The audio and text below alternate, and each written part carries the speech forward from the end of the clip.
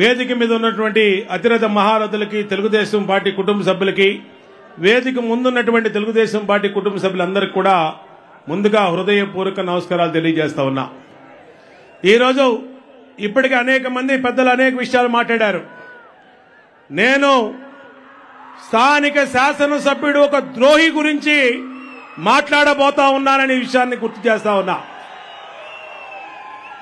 ఒకే ఒక్క విషయం సోదరులారా రెండు వేల తొమ్మిది ముందు ఈ నియోజకవర్గంలో ఇక్కడ ఉన్నటువంటి ఒక మాస్టర్గా పనిచేస్తున్నటువంటి వల్లభనేని రమేష్ గారికి ఇద్దరు కొడుకులు.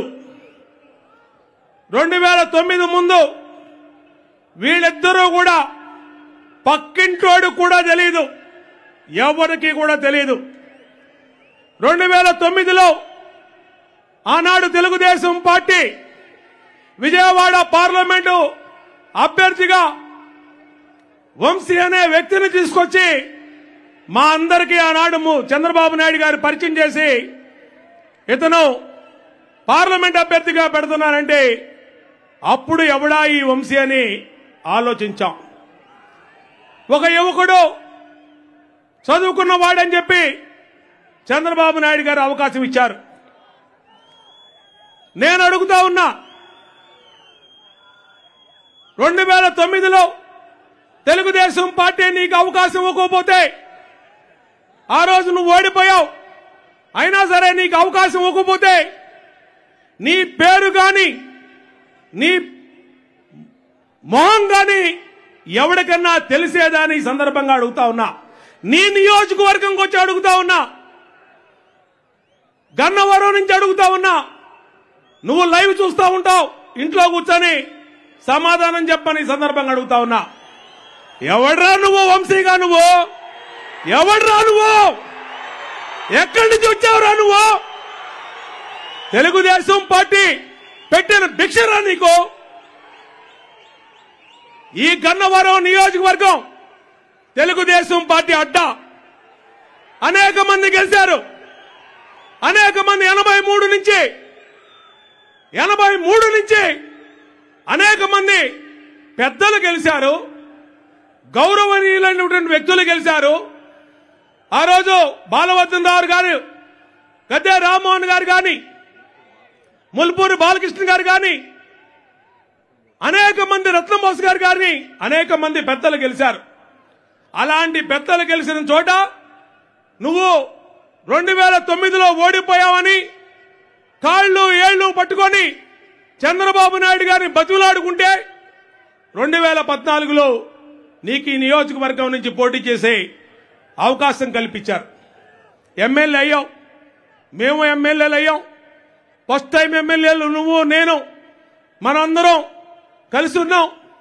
కానీ నీ బుద్ధి తేడా బుద్ధి అని అందరికీ తెలుసు ఆ రోజు పార్టీలో. అదే విషయాన్ని మళ్ళా ఇవాళ ఈ వేదిక ద్వారా గుర్తు చేస్తా ఉన్నా. ఎందుకంటే నువ్వు ఎలాంటి లిటికెంట్వో ఎలాంటి తేడాగాడివో అందరికీ కూడా తెలుసు. కానీ రెండు వేల పంతొమ్మిదిలో మళ్ళీ నీ ఏడుపు భరించి ఆ రోజున తండ్రి లాంటి చంద్రబాబు నాయుడు గారు మళ్ళీ నీకు ఇక్కడ అవకాశం ఇచ్చారు. రెండు వేల పంతొమ్మిదిలో నువ్వు ఇక్కడ మళ్ళీ నియోజకవర్గ శాసనసభ్యుడిగా గెలిచావు. ఏ పార్టీ నుంచి గెలిచావు నువ్వు? ఎవరికి ఓట్లేశారు నీకు? సైకిల్ గుర్తుకు ఓటేస్తే గెలిచిన వాడు వంశీ అని నీకు ఒక్కసారి ఈ సందర్భంగా గుర్తు చేస్తా ఉన్నా. నీ కారణాల ద్వారా నీ దోపిడీ కోసమో నీ అవినీతి కోసమో లేదంటే నీకు సమకాలుడైనటువంటి నీకన్నా పెద్ద సైకో ఉన్నాడు అక్కడ తాడేపల్లిలో ఉన్నాని వెళ్ళావో ఆ పార్టీలో చేరావు. చేరితే చేరావు పో. ఇలాంటి వాడు ఒక గొట్టంగాడిపోతే వంద మంది తయారవుతారు. ఈ నియోజకవర్గంలో ఈ రాష్ట్రంలో తెలుగుదేశం పార్టీకి కొదవలేదనే విషయాన్ని ఈ సందర్భంగా నీకు గుర్తు చేస్తా ఉన్నా వంశీ. కానీ నువ్వు ఏం చేశావు? ఇవాళ ఈ నియోజకవర్గంలో తెలుగుదేశం పార్టీ ఎమ్మెల్యేగా గెలిచి తెలుగుదేశం పార్టీ ఆఫీస్ పగలగొట్టించావు. ఇవాళ ఈ ఊళ్ళలో అనేక మంది గ్రామాల్లో తప్పుడు కేసులు పెట్టించావు. బ్రహ్మలింగం చెరువును మింగేశావు. కొండల్ని మింగేశావు. రైతుల భూములను కొట్టేశావు. నీకు రెండు వేల తొమ్మిదికి ముందు ఇక్కడ ఒక గజం భూమి లేదు నీకు. ఒక్క రూపాయి ఆస్తి లేనటువంటి వాడివి. ఈ రోజున జగన్మోహన్ రెడ్డి పరిపాలనలో ఈడి సైకోదరానికి ఇంకొకడు గుడివాడు గూట్లేగాడు ఒకడున్నాడు.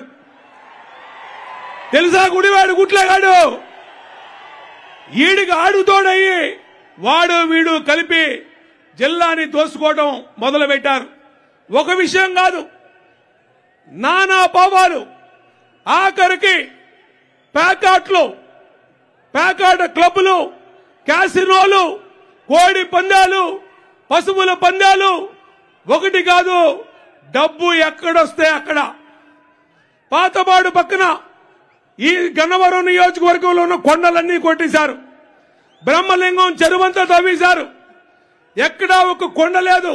ఈ రోజు కూడా ఇప్పుడు చెప్తా ఉన్నా ఇక్కడే పోలీసు అధికారులు ఉన్నారు.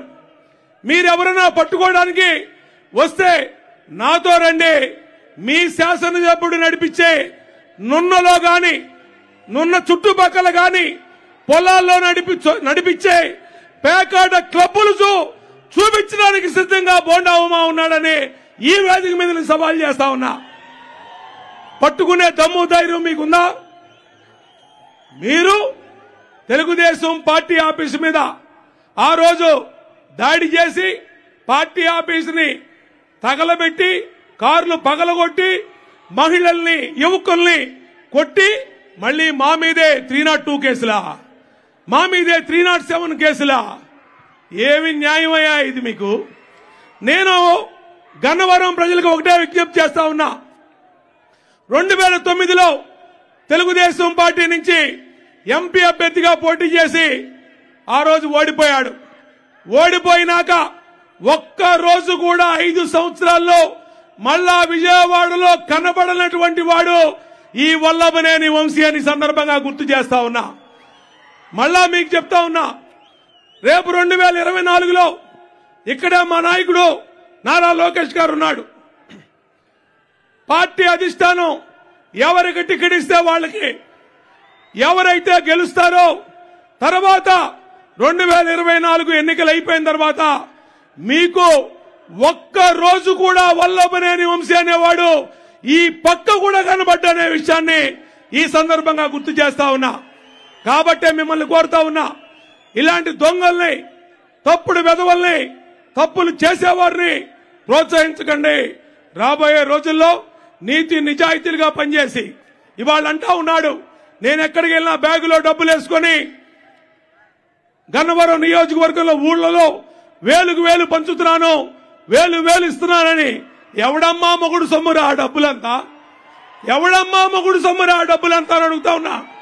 బ్రహ్మలేఖనం చెరువులో కొట్టేసిన డబ్బులు కొండలు కొట్టేసిన డబ్బులు ప్లాకాట క్లబ్బుల్లో డబ్బులు క్యాసినోలు ఆడిచ్చి డబ్బులు పేదల రక్తం పీల్చిన డబ్బుల్ని మళ్ళీ పేదవాళ్ళకే పప్పు బెల్లాల్లాగా ఇస్తూ రేపు ఎలక్షన్లో అనంట వీడు వేలిచ్చి ఓటు కొంటాడంట.